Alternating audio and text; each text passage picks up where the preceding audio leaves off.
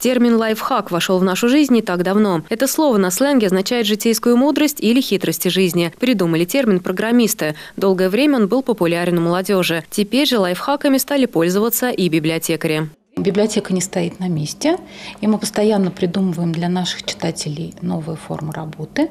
И в этом году мы решили предложить на вкус горожан попробовать новый формат и провести конкурс книжных лайфхаков про чтение.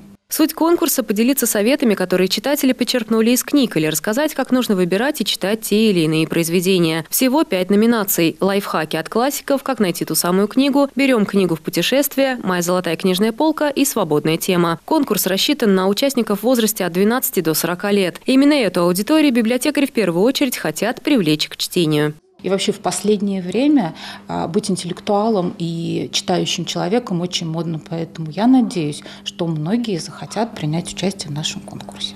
Это уже не первый конкурс для любителей литературы, который проводит молодежный библиотечный информационный центр. И, как признаются организаторы, такие соревнования вызывают у саровчан большой интерес. Ну, во-первых, это соревновательный момент, во-вторых, это возможность проявить свои творческие способности.